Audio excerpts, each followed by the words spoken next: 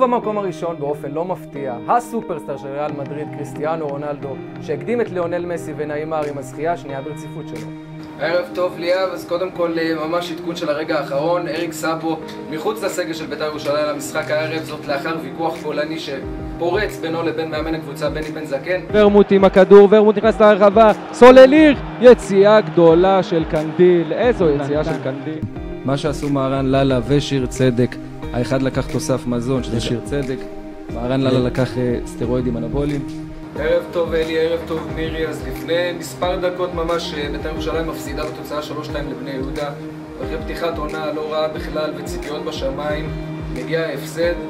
אוקיי, אז אה, ערב טוב עינת, מכבי חיפה מגיעה למשחק הזה אחרי הניצחון על בני סכנין במחזור שעבר. לא לגבי בניון, לא לגבי הסגל, לא לגבי הביקורות על בני בן זקן. נדב, אתה סבור בשלב זה שאולי אלי, אלי אוחנה הגיע כמעין איש שעובד מתחת לאלי תלמיד? ברור, איזה שאלה בכלל.